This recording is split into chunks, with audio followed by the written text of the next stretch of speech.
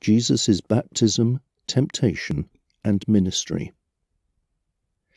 Jesus came from Nazareth in Galilee, and John baptized him in the river Jordan. As soon as Jesus came out of the water, he saw the sky open and the Holy Spirit coming down to him like a dove. A voice from heaven said, You are my own dear Son, and I am pleased with you.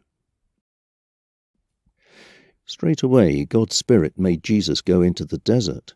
He stayed there for forty days while Satan tested him. Jesus was with the wild animals, but angels took care of him.